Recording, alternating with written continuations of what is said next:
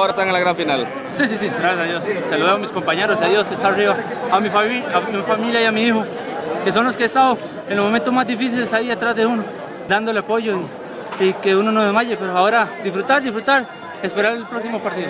¿Qué tan diferente una final jugando a como el año pasado, que fue como en una de las- Barranquilla? Jugué una, no se dio, estuve en banca otra, no se dio.